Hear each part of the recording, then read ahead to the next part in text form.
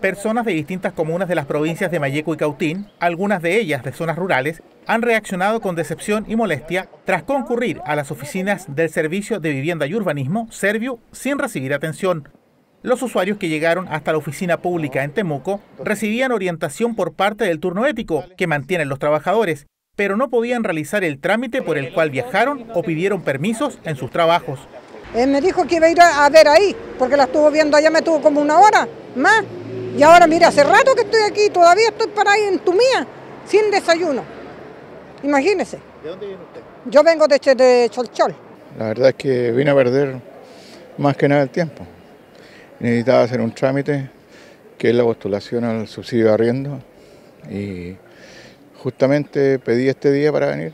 Así que, bueno, va a tener que ser cuando el paro termine nomás, pues no me queda de otra gestión. De Lonquimay. ¿Qué le dijeron acá? Que están en paro indefinido y que hay que llamar para cuando puedan atender. Tengo que hacerlo acá, imagínense gastar plata, tiempo de Lonquimay, no es de aquí. ¿No le dijeron fecha tampoco? No, nada, hay que llamar para cuando puedan atender. Los dirigentes indicaron que la responsabilidad es del gobierno por forzar a los funcionarios a ejercer medidas de presión reiteraron que hace 10 años no se realiza la nivelación de los sueldos de 141 funcionarios y que ahora que se aprobaron los recursos, la Dirección de Presupuesto se niega a realizar la nivelación en los sueldos. No hemos recibido la respuesta formal de parte de la subsecretaria eh, con un documento escrito respecto a la solicitud que el Ministerio le hizo a la DIPRES. Nosotros seguimos movilizados porque creemos que la solicitud de recursos o de aumento de grado que se hizo, se hizo cumpliendo todos los requisitos que estaban establecidos para ello.